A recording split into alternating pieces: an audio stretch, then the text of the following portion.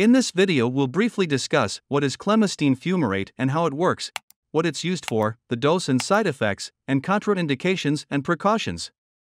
Clemastine is an antihistamine medication. It competitively antagonizes histamine at the H1 receptors.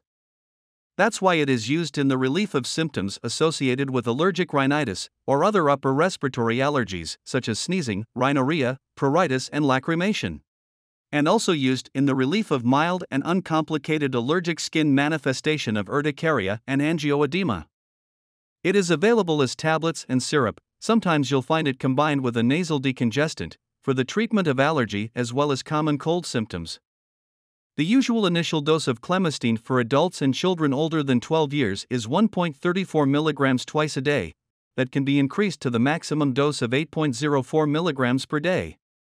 And for children from 6 to 12 years, the usual initial dose is 0.67 mg twice a day, and the maximum dose is 4.02 mg per day.